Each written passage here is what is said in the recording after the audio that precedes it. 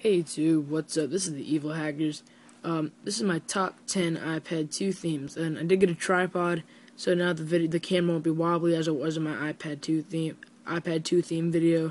Sorry, but I, I had a tripod in order and it just came today, so I'm gonna make a new video with it. Uh, if you want to see my iPad 2 themes, there'll be a link right here. Uh, I already got a thousand view guys. Thank you. That's the most videos I ever. That's the most views I ever had on a video. Maybe I can get to ten thousand or a couple thousand. Doesn't really matter. But let's just jump right into this. Uh, the number one tweak I want to talk about today is SB settings. Everybody should know what SB settings is. It's a very old tweak. I'm just gonna exit out of that really quick. Uh, I'll show you examples of this. Activates the airplane mode. You could manage your Bluetooth, change the brightness up and down. You could activate data, process, and Wi-Fi. Uh, more gives you themes, and you could add applications to the dock, which gives you hidden icons. Uh, refresh means it just cleans up SB settings, so it takes all these stuff off. You could respring your device, original respring it, and power. If you click on power, it gives you the option to reboot, power off, safe mode, and lock. Uh, that's basically all SB settings is. Uh, the theme I have on now is Impulse for iPad. Same theme I have right here. Comes with an SB settings themes. But the then that's number one. Number two is the barrel tweak. Everybody knows what barrel is. It's been in there for a while. It just gives you uh, options for your springboard so you can make the page look cool when you turn it. It's better than the default Apple page where the icons just slip.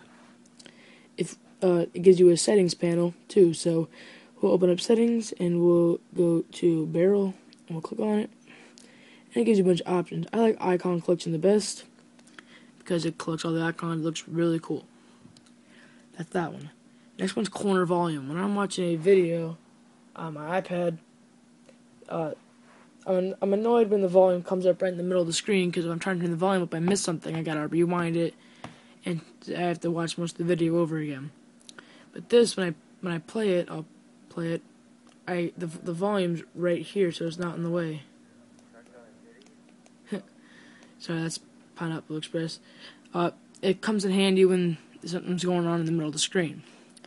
Uh, the next one's called uh, grab uh, full force. Sorry, that that was the next one. Full force. Um, normally, this game in AIM or uh, iPhone apps, so when we click on it, it's full screen for iPad which I think is really, really useful. Sorry, I got that's Facebook notifications.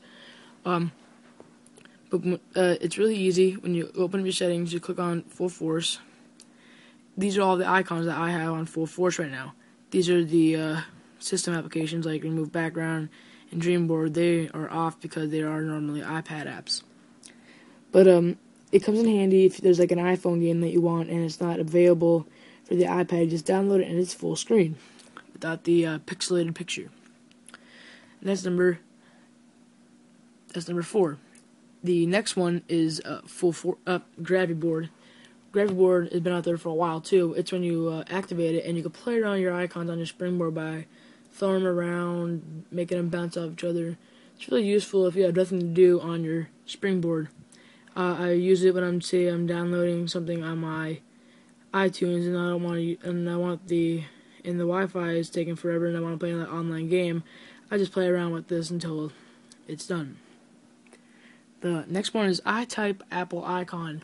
What's this says? When you go to type something, you hold the A, there's an Apple icon. I'm not sure if you can see that, but there's an Apple icon right there. And click on it, and it actually shows an Apple. I have it in the, I have it in notes right there. I have Apple, Apple, A, Apple, which is really cool. Um, but anybody could see this. It's not like you need an iPhone or an iPod Touch or an iPad to see it. Anybody could see it. You could post it on Facebook, post it on Twitter. Like on Twitter, I posted I like apples. By the way, guys, I'm gonna have a Twitter soon. If you want to follow me on Twitter, I'll have a link below when I make a Twitter account. But it's really useful. The next one is MT Gestures theme. What this does, is it gives you multitasking gestures theme. So like, uh, I have four, four, four or five, four or five fingers to uh, slide up the background. And what's really cool about this is four or five fingers you can slide over between pages, so you don't have to use the multitasking. See, then it will go next to videos and Cydia, which is really useful and really good if you don't feel like using your home button too much. But I barely even use my home button. Oh, and uh, another way, uh, it's you go like this to if you go like go like that, exit to the home screen, which is really really cool. You can that doesn't do anything where you open it up like that doesn't really do anything. But uh, that's number seven. Number eight is multi-icon mover. Know multi-icon mover is where I can move multiple icons onto a different page. See that I move on a page, you can move them back. But you don't, you can put them in folders though. That only works on the iPhone 4 or in the iPod, in the iPod and all that stuff. Doesn't work for the iPad yet. Probably gonna have an update soon. But that's number eight. Uh, number nine is remove background. So I don't, so you don't have to hold icons in and delete them all. All you have to do, I have it activated, so I hit the home button twice. So we're gonna go one, two, slide up, and it's gone. And it gives, makes your device a little bit faster.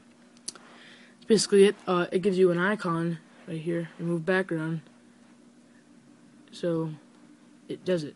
Oh, I'll show you an example really quick of uh, full force. We'll delete that from our background really quick. We'll go to our settings. We'll turn it on to that and we'll go back to it. Open it and it's full screen now, guys. See that? It's full screen now. No times two. Awesome. And number 10 is Fake Operator. As you can see right here, instead of iPad, I have an Apple icon thanks to the iType Apple Access. And no respring required for this. It's called Fake Operator. And it's right here. You enable it. You can type whatever you want. I could type in uh, some random stuff. Click that, and it's there. It only goes up to about one, two, three, ten letters, so you can do whatever you want. But I like a simple Apple. I can I can go like this. I can go Apple iPad. There's just Apple iPad. But uh, that's really cool. Remember, guys, I'll have an annotation right here if you want to see my iPad 2 themes. Uh, that's basically it for this video, guys. Remember to thumbs up, comment, and subscribe. Click that subscribe button right there. Help me out a lot. I only got a couple subscribers. Use a little bit more. But, guys, this is the Evil Hackers, and I'm out.